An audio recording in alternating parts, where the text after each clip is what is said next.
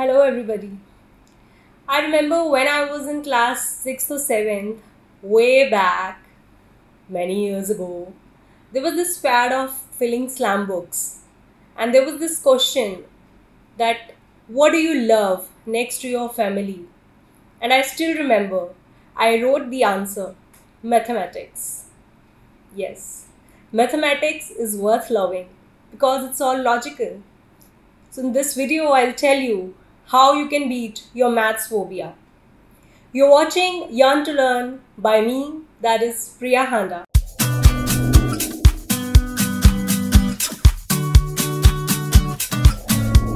So, friends, uh, maths phobia is uh, well known as maths anxiety, fear of mathematics, forgetting things when it comes to maths, forgetting formulas, not understanding and comprehending what is being asked, and many more things. In this video, I'll give you a few tips by which you can easily beat your maths phobia. The very first tip is to acknowledge that you have this phobia. Yes, sometimes we do not realize what exactly is our problem. We mistake it for some other reason. We may call it sleep deprivation, distraction, or uh, maybe many other reasons that we uh, name them as this is the reason I could not perform well. I was not keeping well, I was sick, that's why I could not perform well in my exam. Or uh, maybe my uh, teacher isn't that good, that's why I'm not able to do. There's a lot of noise when I'm practicing, so that's why I'm not good. So we find reasons. The first thing is to acknowledge the fact that whenever it comes to mathematics, you have that feeling of fear, you have gurgling inside your stomach, you have your goosebumps. So these indications that you have a anxiety, an anxiety for mathematics. Once you will acknowledge it, you can work on it to make it go away and fall yourself for mathematics as a logical discipline altogether. The second tip is try breathing exercises. I know it may sound so weird, that when we are working on math phobia, how can breathing help? But uh, maths phobia induces stress. And when you're working on something, when you are trying to understand th- something, you need your mind to be very calm. And how can you make it calm? You can make it calm by de stressing yourself.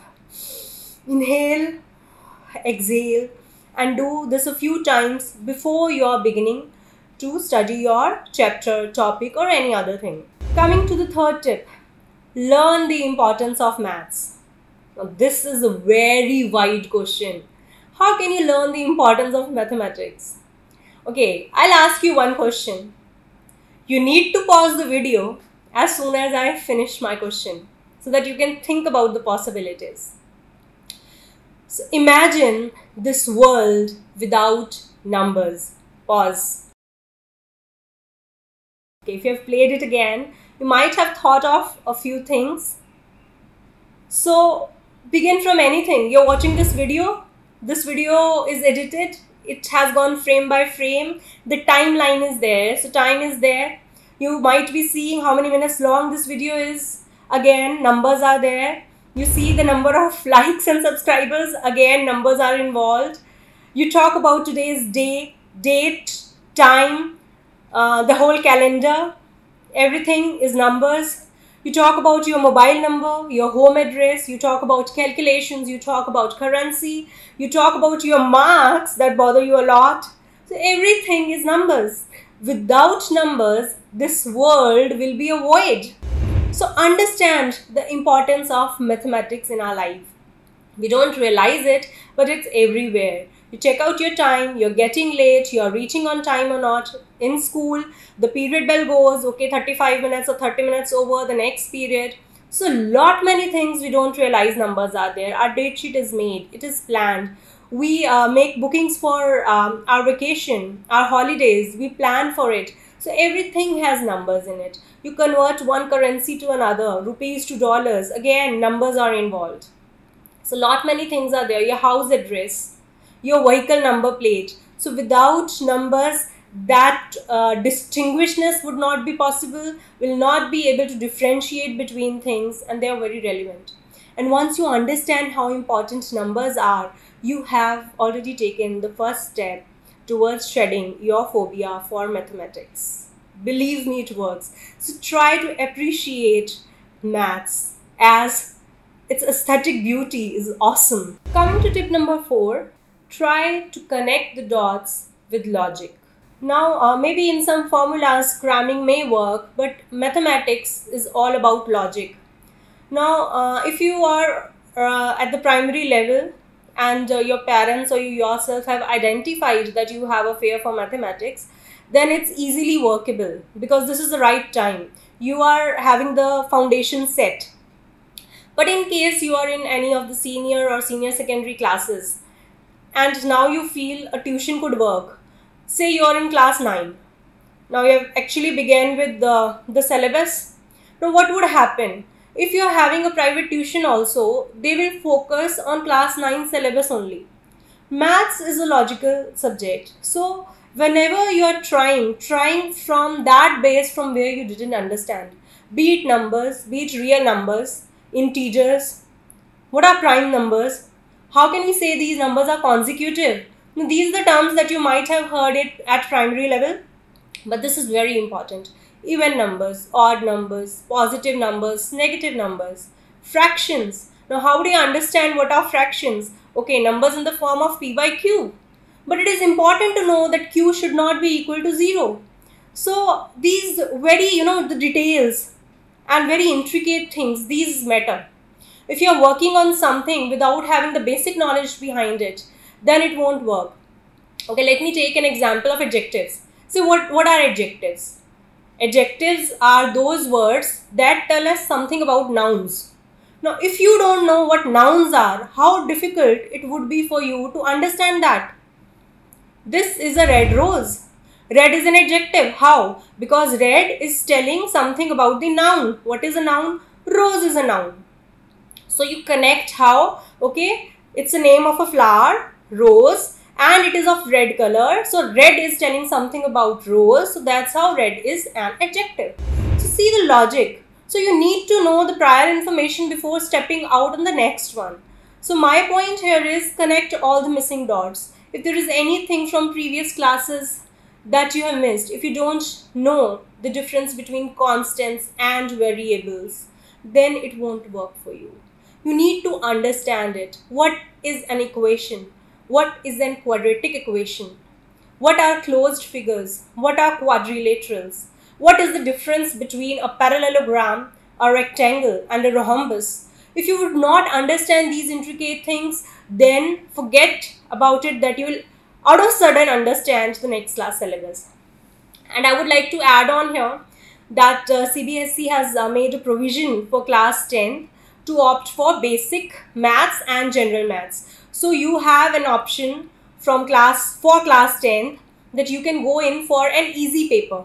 So when you can talk about it in your school. So opt for basic maths exam if you are not that confident about the general exam paper. Also, it is important for you to know if you are opting for basic mathematics, then in class 11th, you cannot opt for mathematics in any of the streams. Tip number 5. It's simple. Ask questions. Whether you're in your class and your teacher is teaching you, if you have some queries, do not hesitate to put them forth. Don't worry whether your friends would comment, what would they think, whether they will be sarcastic. Don't think about such things. वो सुना है ना कुछ तो लोग कहेंगे लोगों का काम है कहना so what what thing the thing that matters is that you should be at peace with yourself. If you have any questions do ask. Hit them off. Let your queries be solved. At home also whether you're having any tuition or you go to a coaching center or your parents teach you or you study with one of your friends never hesitate to ask the questions. What is this? What is that? Or how we are deriving this answer from this one? It will help you. It will further give you a boost. Because when you understand the logic, it gives you a feeling of satisfaction that you know the reason. And it's like you have moved forth another step of the ladder. So it's very simple. I'm repeating it again. never hesitate to ask questions. Do ask a lot of questions. Coming to the last tip, tip number six practice makes perfect. As if this particular quote was made for mathematics only. If you're at primary state, practice all the four basic operations. Take five sums for each. You know what four basic operations in mathematics are? Addition, subtraction, multiplication, and division. So practice these basic operations. Do five sums in each category every day. It will help you uh, further uh, have interest in mathematics. It will hone your skills. It will quicken your calculations. So you will get a lot of benefits from it. If you're at uh, uh, middle level or senior stage, then practice your sums, practice various sort of word problems, try to comprehend, and when you're doing so, or talk loudly as if you're making someone else understand. Fine, if you're reading some question, okay, be loud as if you're explaining, okay, he had 4 kgs of so and so, okay, and then this happened. So speak out loudly. There is no hesitation in doing so. Once you will be loud enough and try to make someone else understand that, you will yourself understand what that word problem means.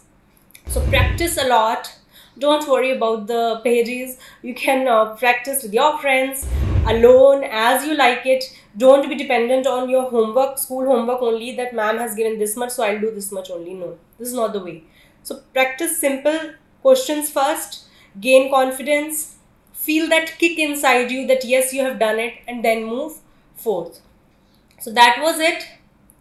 All the best to all of you. I hope these tips will help you beat your maths phobia.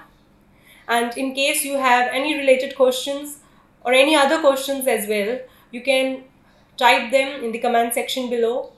And as I always say before signing off, do like, subscribe, and share this video.